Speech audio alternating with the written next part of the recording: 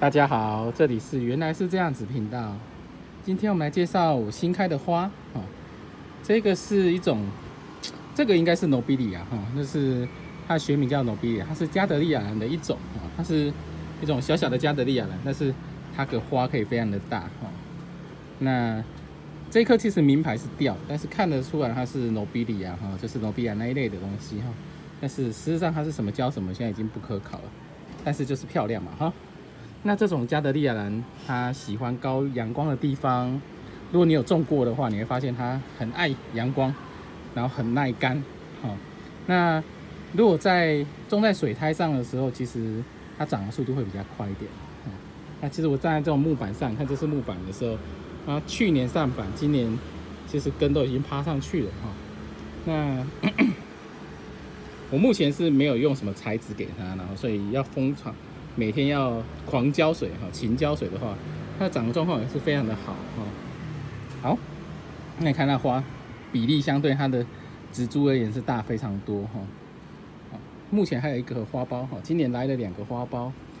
那每年的开花期大概就是现在，从春天一直到主要是冬天到春天了哈，因为今年春今年春天来特别的早，大概二月，现在就是春天了哈。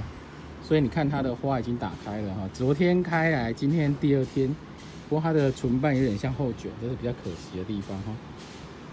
你可以看它唇瓣有那个一横一横的构造哈，Nobilia 就会有这个特征哈。啊，如果是呃 Walk 哈，另外一种叫走路人系列，它就没有那个特征哈。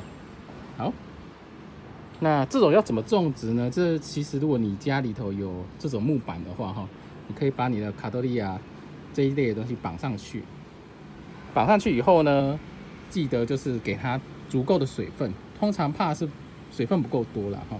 但是因为加德利兰这一类的东西蛮耐蛮耐干的哈，相对而言，好像这一颗这一颗是小猪哥哈，它也是加德利亚人的其中一种哈，可是它比较被被被它比较被分为在雷利亚那一属里头哈。那像我这一颗这一颗是呃这颗是 Intermedia 哈，也是加德利亚。那它今年还没有来花，它花期比较晚一点点哈。好，回到这一颗哈，所以如果你有想要上板的话，可以，你可以试试看，把它绑到板子上，然后让它根趴上去，然后一样施肥，像我这边就挂了一个肥料包哈，小小的肥料包，那一样还是以易肥跟固肥为主。那这种其实这种种法其实比较不会得病啊，比较比较安全哈，我觉得比较安全哈。对兰花而言，它是安全的非常多，所以如果兴趣的话，你可以试试看这种种法，我还蛮推荐的哈。蝴蝶兰也可以，加德利兰也可以，石斛兰也可以哈。像石斛兰这个也是上板哈，今年的石斛开的特别的早哈，现在目前已经准备开开始了哈。好，那这是今天的小小的介绍，啊，这是加德利亚兰，然后这一颗应该是诺比利亚。好，虽然名牌掉了，但是反正自己观赏，就是漂亮的花。那到底是什么品种？其实，嗯，没办法，就是掉了。对，但是花今年的比例非常的不错，非常的大颗。好，就是这样子喽。那今天主要就是来聊聊加德利亚兰，然后跟我开的花。如果你有种兰花的话，当然欢迎你一样留言在下面跟我们讨论一下也可以哈。那记得订阅跟分享我们的频道哈。